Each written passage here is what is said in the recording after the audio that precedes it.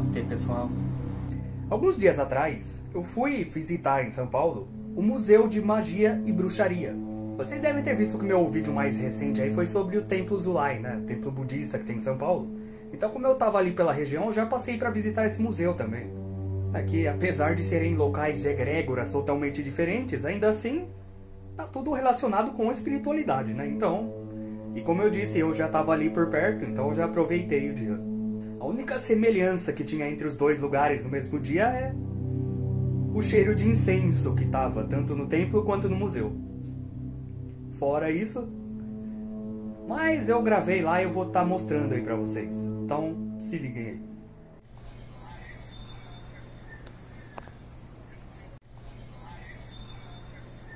É uma casa antiga. O museu mesmo, propriamente dito, fica no segundo andar. A gente já vai subir lá e vou mostrar pra vocês. E aqui embaixo tem outras coisas, tem uma lojinha, nos fundos tem um templo.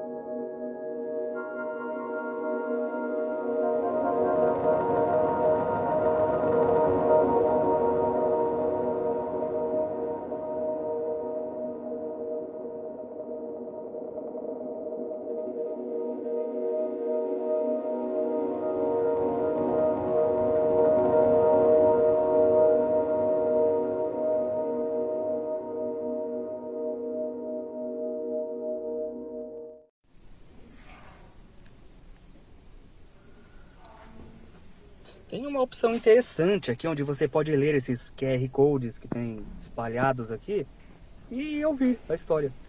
Aqui é a sala da exposição Maia. Eu soube que tinha coisa sobre o Antigo Egito e eu dei uma perguntada que fui informado que ao longo do ano eles alternam entre esse tema maia e o egípcio.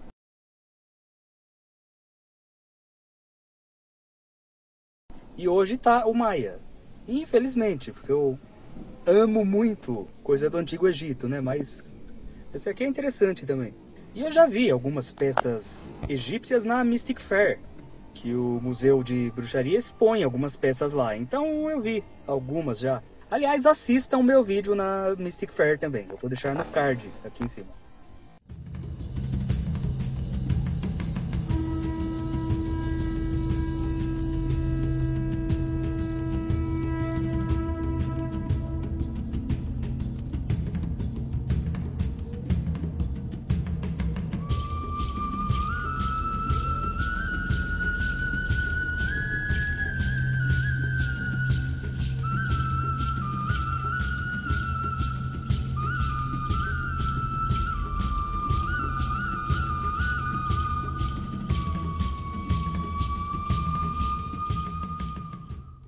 Aliás, aproveitando que o vídeo é sobre o museu, né, ou seja, sobre história, eu convido vocês a assistirem a minha série sobre a história do esoterismo, né, que é uma das melhores coisas que eu já fiz aqui nesse canal.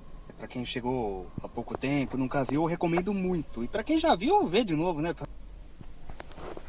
Aí, ó. Martelo das Bruxas. Nossa, esse livrinho deu uma dor de cabeça no passado, hein? E muitas dores físicas também.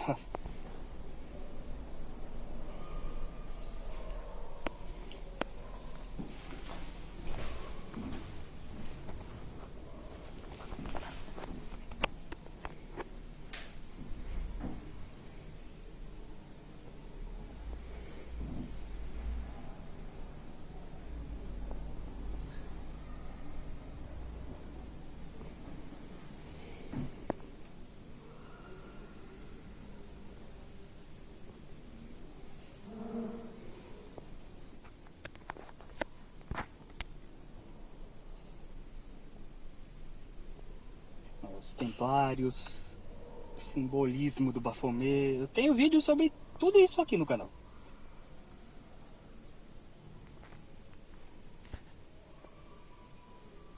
Eu acho que eu só não tenho vídeo ali, ó, sobre o julgamento de Salem. Que, aliás, é bom que eu tenha, tenha visto isso agora, porque me deu uma ideia para vídeo novo, né? Então aguardem, em breve, vídeo sobre Salem aí.